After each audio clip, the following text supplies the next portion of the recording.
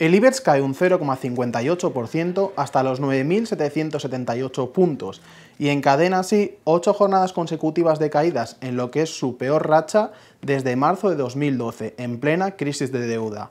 El selectivo español ha perdido en estas ocho sesiones un 5,8% y los 9.800 puntos. En contraste, las bolsas europeas avanzan de media un 0,2% este jueves y Wall Street cotiza con ganancias limitadas.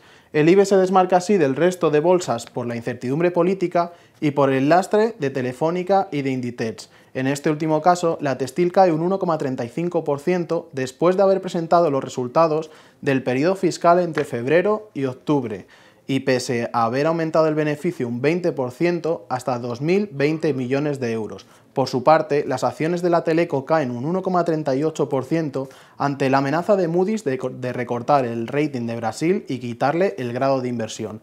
Desde el punto de vista técnico, no hay que descartar que entre en juego para el IBEX el soporte de los 10.000 puntos perdidos y vuelva así a la zona entre los 10.000 y los 10.020 puntos advierte José María Rodríguez, analista técnico de Bolsamanía.